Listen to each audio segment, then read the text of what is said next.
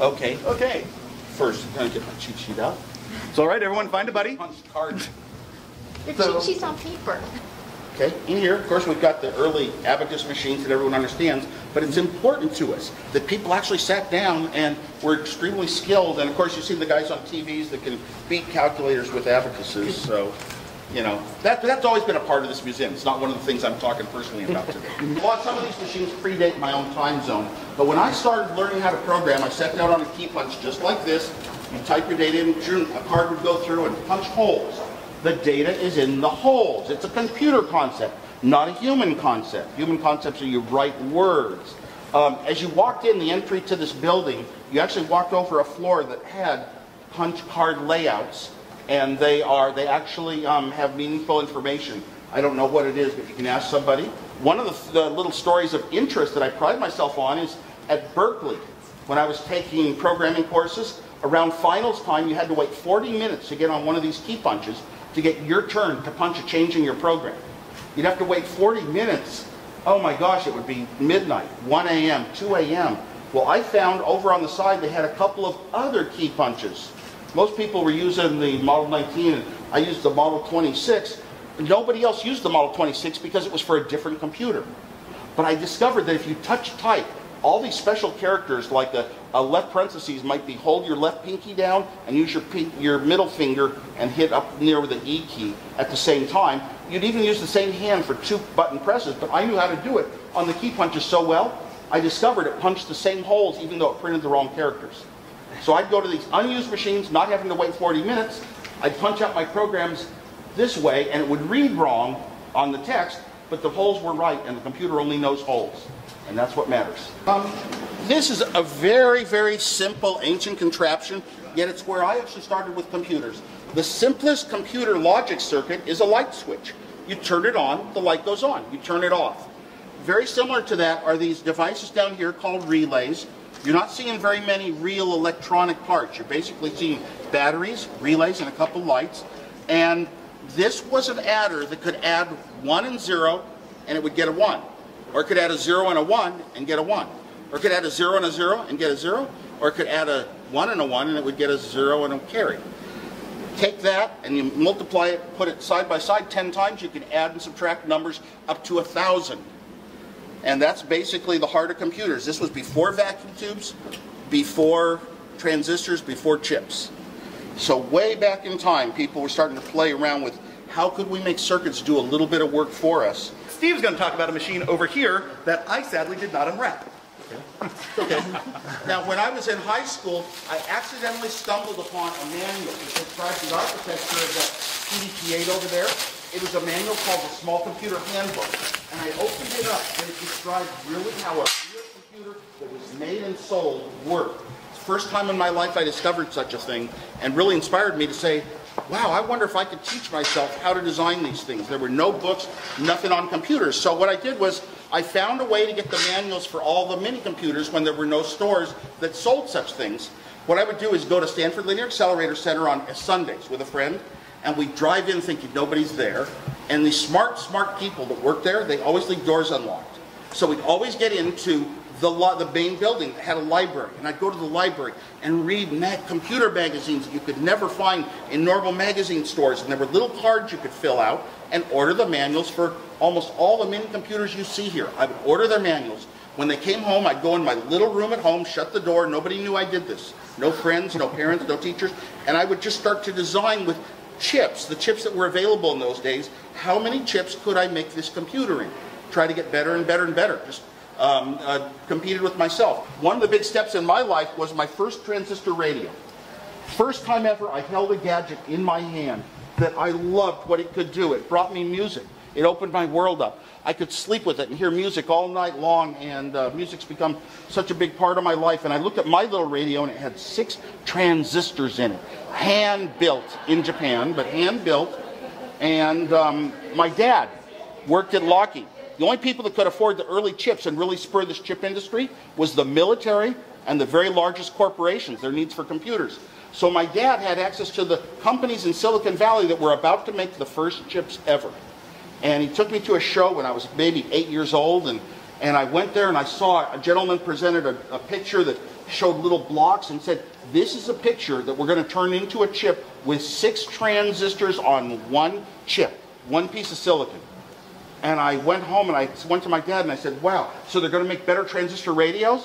And he said, no, no, no, these chips cost way too much. Only the military can afford them. After a number of years, there's surplus that they don't need anymore, and that's what people get. And I always felt, darn, you know, the needs of real people for things in their home that bring them enjoyment should be pushing our industry. Well, what is pushing the state of the art of the silicon industry nowadays? Personal computers and now games. The highest, most powerful chips that are made on earth are, are made for game machines so the legacy of the little personal device has come true. I used to go to Stanford Artificial Intelligence Center where I had a friend that worked, and I would see some robots doing different tasks, being trained to pick out cubes of a certain shape or whatever, and just mesmerized me, you know. And I Yeah. thought, wow, computers, this is like artificial intelligence. Well, it was kind of a low level of it, but uh, all, you know, we keep asking, are we going to build robots that are all of a sudden smarter than us and they take over? Well, we always have this idea we can turn them off. Well, today's biggest robot, the biggest example of intelligence we have, is the internet. You used to ask a smart person a question. Now who do you ask? It Starts with G-O and it's not God. and so, so you ask your question, you get back all these incredible answers. You know, usually, usually you get better answers and quicker and get what you want than asking a human being. And so the part of the brain has now become come about. And the internet was not designed to be that part of a brain. The internet was just, you know, designed to be connections between people and searches. And because of its magnitude, it has maybe an order number of magnitudes, an order of magnitude, the number of nodes that we have neurons in the brain. All of a sudden, it turns out to sort of be an intelligence. Well, can you put that computer aside? If you think about these early computers we saw that they made very few of that cost, you know, billions of today's dollars um, for the military, those were very important steps to them. And all of a sudden, we've lost a lot of control. We can't turn off our internet. We can't turn off our smartphones. We can't turn off our computer. How would we live a life without any of those things? You know, for the next six months or something. Um, how would we, you know, cars without computers? So all of a sudden, technology, we've just built it in to help us, but we're dependent on it. And eventually, we're going to have it doing every task we can in the world so we can sit back and relax, but now we're not needed as much as the technology. So who's the master and who's the slave, I always think. But it's not like we designed. well, this is a very important exhibit because the biggest changes in computers throughout time are usually in the areas of input and output, the devices that really connect it to the, to the human being. Um, did we pass up, Chris, the um, where the homebrew computer club should? No, that's okay. actually here. Very quickly, this is Pong. This is the Pong prototype designed by Al Alcorn, who loaned it to us for this wonderful exhibit. Um, probably the game most responsible for the explosion of arcades of the 1970s. Um, also, the most pirated computer game ever. Uh, for I think for every official Pong Atari sold, there were about 15 Pongs that were unauthorized that were sold all around the world. This was built by wiring wires between chips that signals went up and down, up and down, no programming. You didn't tell it a sequence of steps to follow. You had to program it to actually wind up putting white and black dots on the screen at certain places. You had to actually design it that way, and it was very difficult in those days. I mean, it would take maybe a half a man year at least to design a machine like this, and a program, it's maybe half a day. One of the early courses in Introduction to Computers in college, you learn how to program things When like did you Pong. start working at Atari? Was it I didn't? I didn't work at Atari, but I saw Pong in a bowling alley. I went home and said, oh my God, I have to have this. And my way was, I, I'm a good designer. I designed my own 28 little $1 chips on a board. I had Pong playing on my TV set at home. Snaked the cable in, figured out how to do it. And um, uh, eventually Steve Jobs came back and he took my game down to Atari and he got a job. Atari was in Los Gatos, California, where I live now. Very proud of that. So I used to go in and visit at night. They had Steve working at night so he wouldn't be around other people. It's and bad. It's good and bad. It's good and bad. And uh, then he got us a job. I designed the first breakout game for Atari. Yeah. So I didn't really work there. They tried to hire me, but I said, never leave Hewlett Packard. I love my company. I'm loyal. Yeah. You built that in one weekend, didn't you? Breakout four days. Four Four, days. days. and nights. it was a half man year job. I didn't think I could do it. And we stayed up all night, all day, all night long. We both got the sleeping sickness mononucleosis. Steve Jobs and I both got it doing that project, delivered a working breakout game. And uh, it was one of the, the highlights of my life because I love games. I love things that young people do, that children do. It related to my interest in education. And um, also, again, had a big impact in how I designed those game-like features into the early Apple computers, especially the Apple II, because games were going to come into computers. Game equipment like knobs and paddles and buttons and sounds were going to be an important part of computers, and I hope I had a little, um, a little uh, part in history in accelerating that. And then the computer gaming, as games became software, they took off to what we have today. Okay, um, at our homebrew computer club, there were a lot of people that were low level, not executives in companies. 500 people every two weeks would meet in an auditorium and they all wanted to talk about the social revolution. We wanted to feel that we were leaders of something. We were the spirit. The big computer companies didn't realize that a computer in the home, a computer in your own possession, was going to be so valuable, worth so much, so meaningful and uh, emotional. So they started saving their money, and only a few of the people in the club, even after half a year, were able to afford their own little machines that were sold as kits of parts. You got a kit of parts and some instructions, and you started bolting it together, soldering things like I did to my ham radio in sixth grade, and uh, you'd wind up with a little working device. You could toggle switches up and down, ones and zeros. You could push buttons, and those ones and zeros would go into a little area called memory. And um, it's very important. Now, what we talked about these machines would be used for, they were going to empower people. We were going to, we young people that knew how to program the computers were going to become masters within our companies. We'd go into our company, put a computer on our desk, type in the company's financial data, and come out with the the output as to what the company should do next, how it should use its money, and we were going to beat their million dollar computers and the, their high paid programmers just on our own. We were going to uh, be able to type messages into one computer, and 100 people would read it an hour later. And we could communicate in ways that have never been imagined before. Young children were going to be given problems to solve, and their solutions would be judged, and they would be told if it was right or wrong, and their brains were going to be accelerated 10 times more than normal brains. And we had all these great ideas that inspired us. And I said, I have technical skills, and I want to donate my technical skills to this effort. So I built an Apple I computer um, by hand, all myself, all the hardware, did all the software. Bill Gates had written a BASIC. I said, BASIC, you need BASIC on a computer to make it really usable. So I wrote my own BASIC. You need enough memory, so I used the right type of memory that was affordable. And the Apple I was not exactly completely built like a hi-fi. You pull it out of the box and use it, but it totally gave away the formula that you should type on a small keyboard that's not here, a human keyboard like a typewriter, and see your answer on a video display, that that was the way to make a computer affordable. And other computers that we passed already followed in that model once they saw it. Now, I didn't design this computer to make a lot of money to start a company. I wanted to accelerate the world's advancement in this social revolution that it would cause, so I gave away my designs for free. I passed them out on Xerox sheets and gave them out to everybody at the club that wanted them and said, look, it's so easy, you can build your own. But eventually Steve Jobs came and said, why don't we build it for them and start a company called Apple? And after Hewlett Packard turned me down five times on the idea. This device, the Apple I computer, was done very quick in a very quick time, just a few months. But the key to it was I already had a device.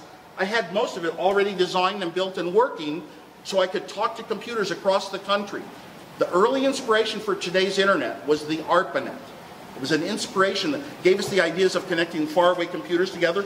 And I liked being at home and I could type on a little keyboard and on my, my TV screen that wasn't playing Pong anymore, I could see a list of computers across the country and I could log on to MIT. And then it would have things I could log in as a guest.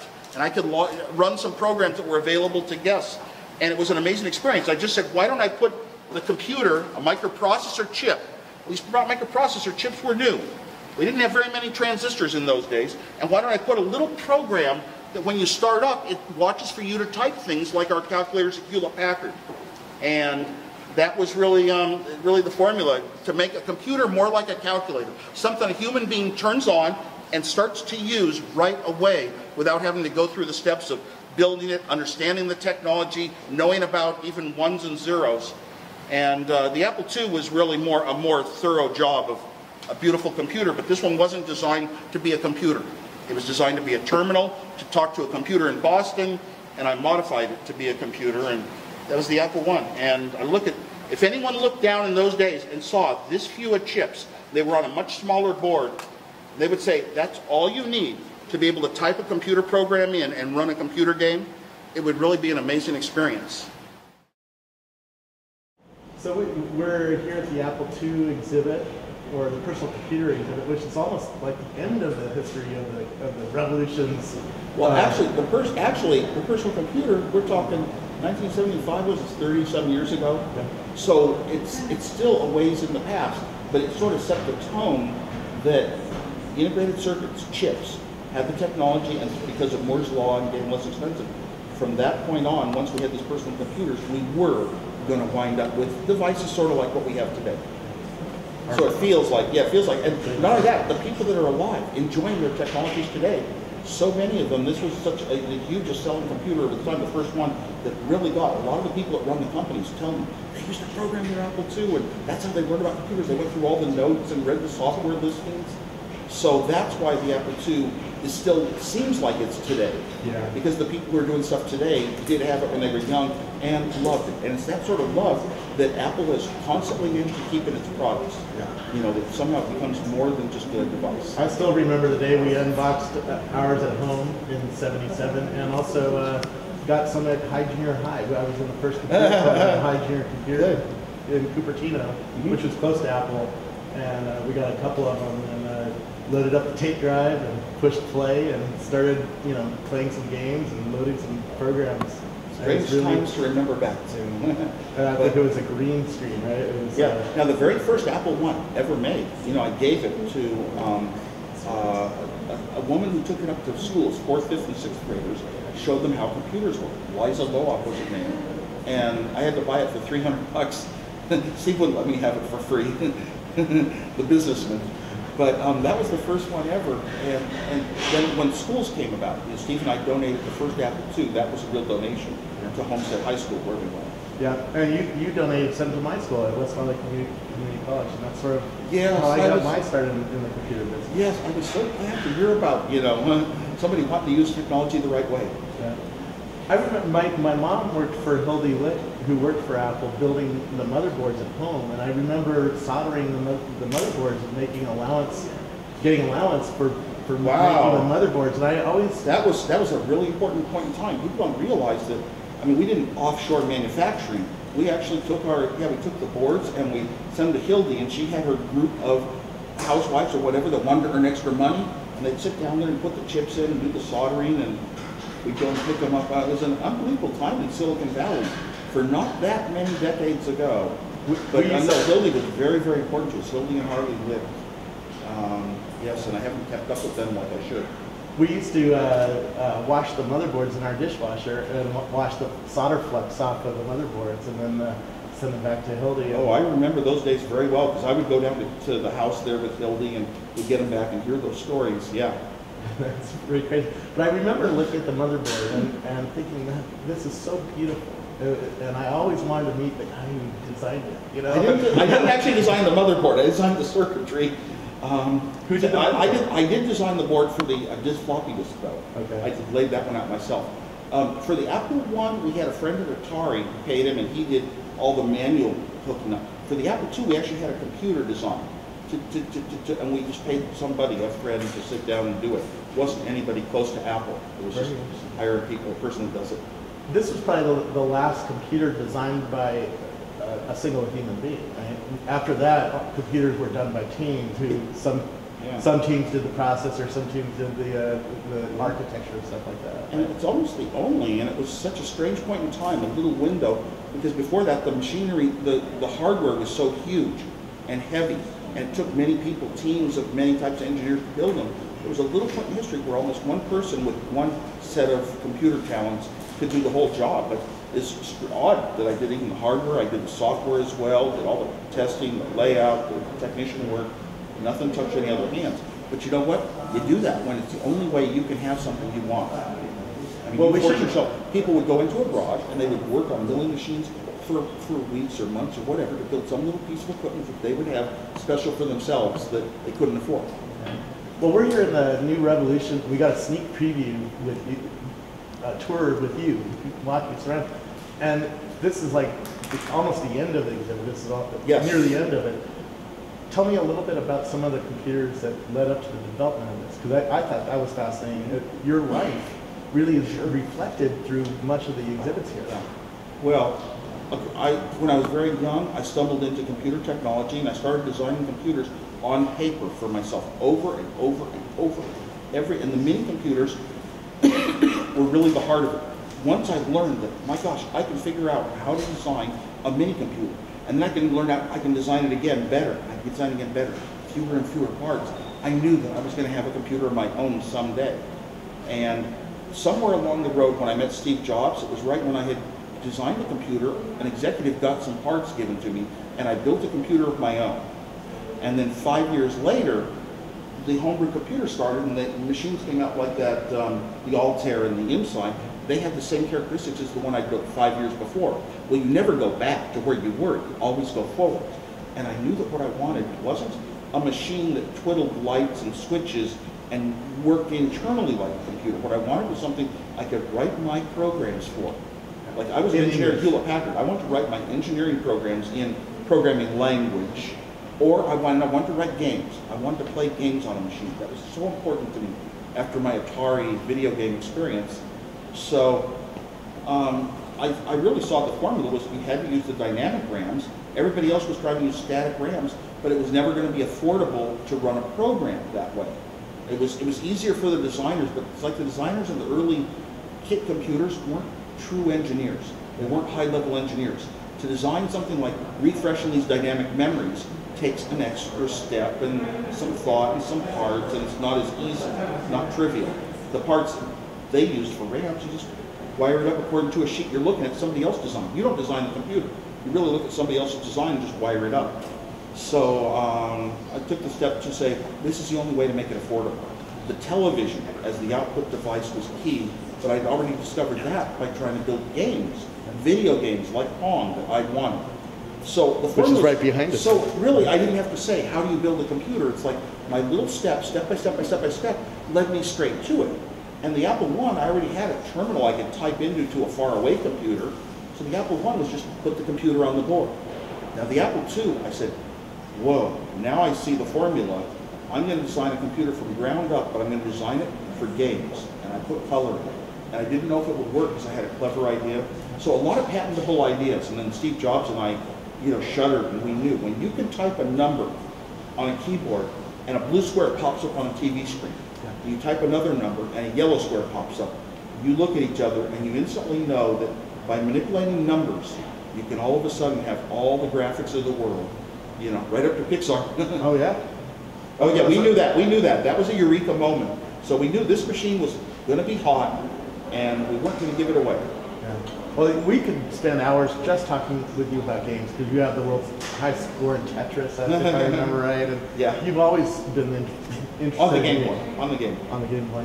And the Apple II certainly was, you know, changed my life in terms of games. I, I remember playing Choplifter in high school and all sorts of different games. And our computer club used to trade games, and, and you know, my dad used to buy them and bring them to the library and we'd You know, them.